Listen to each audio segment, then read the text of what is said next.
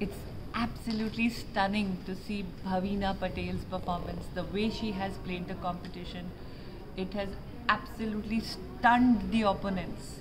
Her game, her skill, her patience, her coming back, uh, the way she has kept her focus is it's it's beyond uh, you know words. It's world class, and this is the skill uh, and this is the calmness that has made her achieve the feat of a silver at the Paralympics.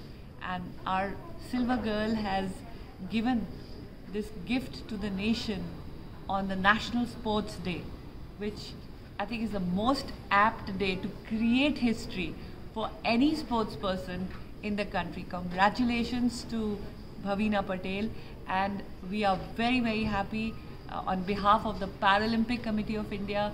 I congratulate her and uh, personally on a personal level I feel it's like passing on the baton. I always wanted woman participation to come forward and a woman and that too on a wheelchair to make more medals for the country so that we can um, create inclusivity, shatter the stereotype taboos around the disability and Bhavina has just done that.